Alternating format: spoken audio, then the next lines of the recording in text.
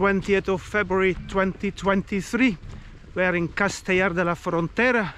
We're going to walk around Castellar Nuevo via a channel and we'll return via the Guadarranque River via the Ruta de la Mariposa Monarca.